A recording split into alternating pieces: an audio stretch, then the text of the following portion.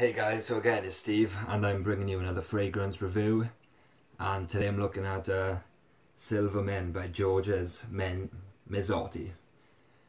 Um, so I basically did my first few YouTube reviews where I just basically bought like quite a few fragrance cheaply. And I bought lots of them at wholesale price. And I think I paid like £4.50 for this. And I kind of just did a very quick overview of all my different fragrances you know, kind of just giving a quick first impressions. And um, recently I've been going to my local department store at um, dinner time or lunch break in work and I've just been spraying on various different um, fragrances and testing them out and I was never sure what this was a clone of or if it was an original composition but I'd read that it was um, a clone of Marc Jacobs Bang which I can see because the bottle is very similar from um, pictures I looked up. But I've looked up the notes on um, on Bang, and it's definitely not, definitely not definitely not this. Um, I wasn't sure what, what this was a clone of, but um, one day in work I kind of tried on 212 VIP Men by Carolina Herrera, and this is it. Um, it's not, it's not exactly the most office suited scent, you know. I work in an office and I'm putting this fragrance on at 2 pm and then going back to work and it's probably not the best thing to be smelling of. But, you know, I've been testing this now and it's a brilliant, brilliant clone.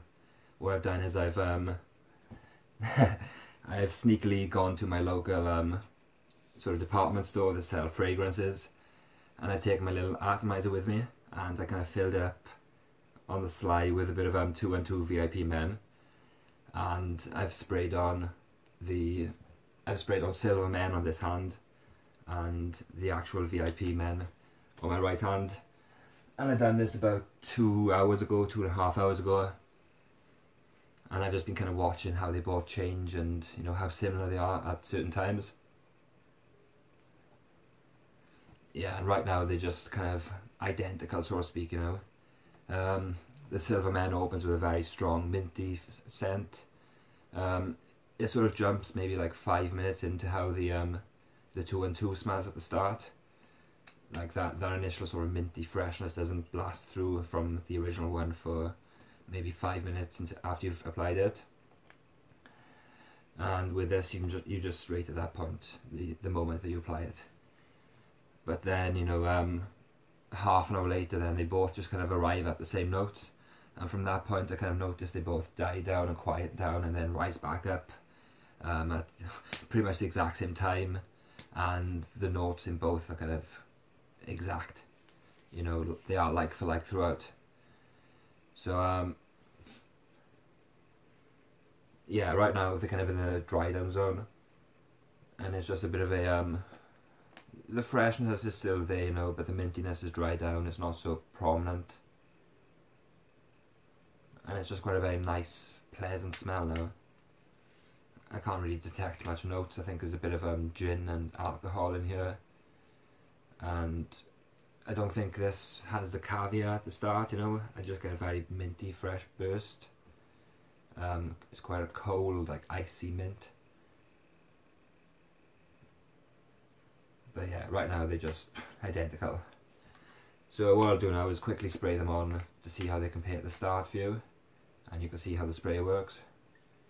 So on my left hand, on my left, I'll take the two and two clone. Yeah, the spray is not the best. It kind of, it doesn't burst out. You know, it's just a kind of, it's a bit of a spritz. And yeah, it's not straight away minty, but I never really smelled um, caviar, so I can't comment on how that smells.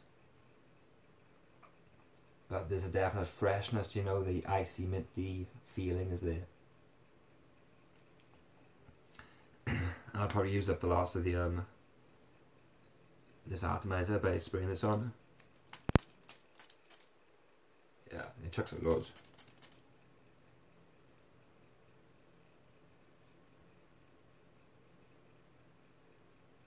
Yeah, they are very similar actually. This one's quite alcoholic.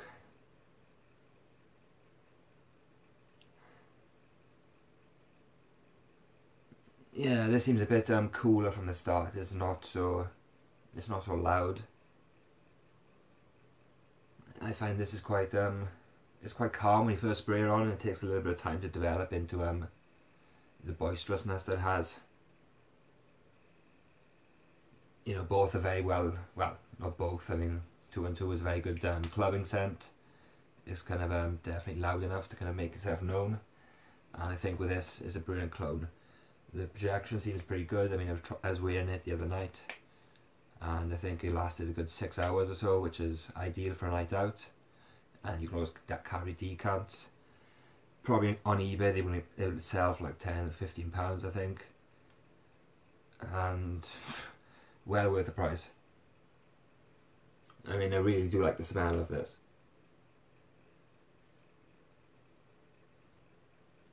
Yep, you know, like two minutes into the three, and they are both very similar. Very pleasant. I mean, in terms of likeness, I'm going to give this a 10 because it's a very, very good clone. Um, in terms of the smell, you know, it's a it's suited for ages 80 and up. It's probably a good night out scent. I could see it being worn across all seasons too in the night out. I could guess that heat would play a big role in how it'll smell and I'm very impressed with the clone. So um, thanks for watching. Any comments, um, subscribe. Any comments, ask below. Um, please like and su subscribe to my channel for more reviews. And again, thanks for watching. Cheers.